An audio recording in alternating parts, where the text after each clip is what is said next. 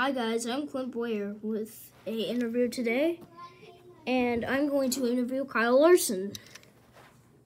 So Kyle, what do you see out there? What do you like doing? Well, well, most of the fans know I I got I got removed from Chip Ganassi Racing, but there you can see on my back, say my name right there. Oh, it's kind of no.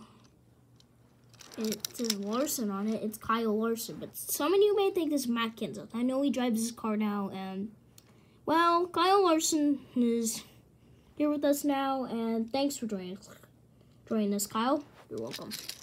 And make sure to subscribe for more interviews. Bye.